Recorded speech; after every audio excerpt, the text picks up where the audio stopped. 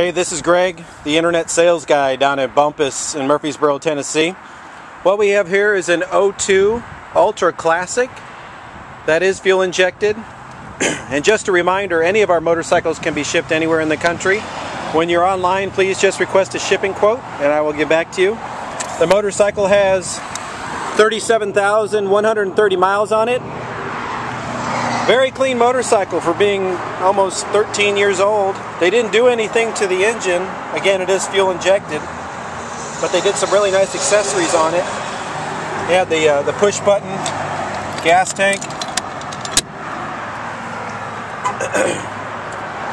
kind of the old style, old school bags, leather, not that uh, rubberized plastic.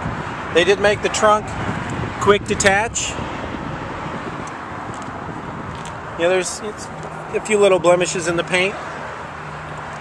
Luggage rack they added to the motorcycle.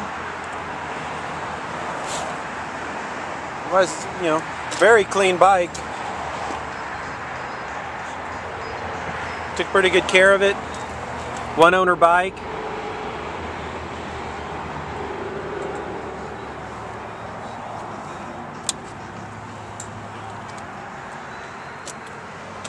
Little blemish in the fairing right here.